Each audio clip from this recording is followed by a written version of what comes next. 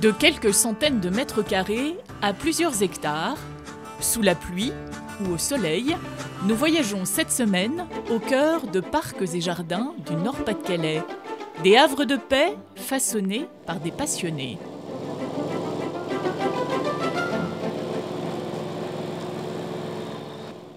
Beaucoup de boulot et quand on commence cette, euh, cette euh, pelouse, euh, ce travail de tonte, ça dure une journée.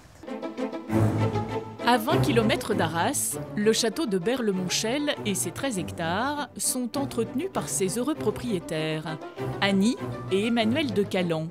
La propriété appartient à la famille de monsieur depuis 1852. Emmanuel arrive ici avec ses parents en 1947. Le site d'origine a quelque peu évolué.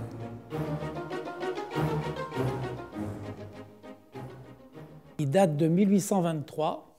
C'est le plan euh, de conception du parc à l'anglaise tel que vous le voyez encore aujourd'hui et qui a remplacé un jardin à la française. Ici se trouve la maison.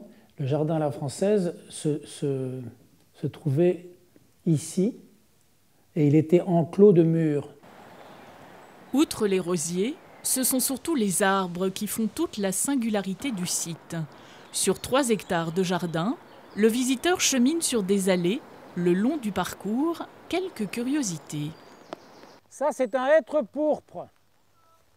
Est-ce que vous savez euh, pourquoi il y a ce bourrelet autour? Et première fois, nous avons cru avec d'autres visiteurs que c'était la trace de chaîne pour attacher du bétail.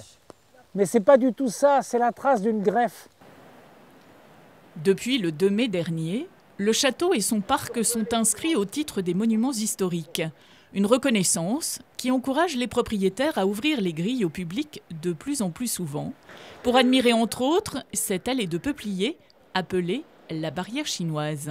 Rester chez soi, ça a été la pratique pendant de longues années. Bon, c'était une maison pour mes beaux-parents, leurs enfants, etc.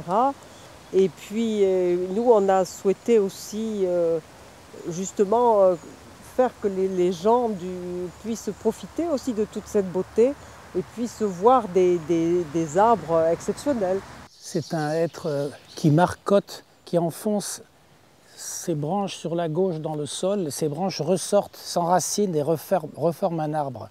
Il a une branche qui rentre dans le sol complètement, qui va ressortir de l'autre côté, et une autre qui enserre ce sycomore. Les visites sont possibles durant tout l'été, sur rendez-vous.